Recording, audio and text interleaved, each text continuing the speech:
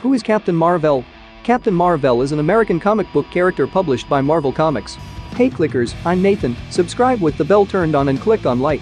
He was created by writer-editor Stan Lee and artist Gene Colan, and his first appearance was in Marvel Super Heroes number 12 in December of 1967. Mar-Vell is an alien of the Kree race who came to Earth as a spy before identifying with his human neighbors. He is the first character to use the nickname Captain Marvel in the Marvel Universe. The character debuted during the Silver Age of comics and made many subsequent appearances, including a self-titled series in the second volume of the Marvel Spotlight series, until his death in 1982, a condition that became permanent within the main continuity and in most other media, with Carol Danvers becoming Captain Marvel, primarily featured in the modern era. If you enjoyed this video, be sure to check out the others here on my channel that may be of interest to you about the entire Marvel universe. Thanks.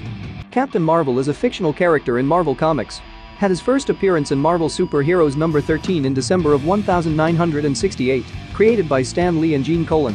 The character is known to be one of the most powerful in the Marvel Universe, with abilities such as super strength, flight, and energy absorption.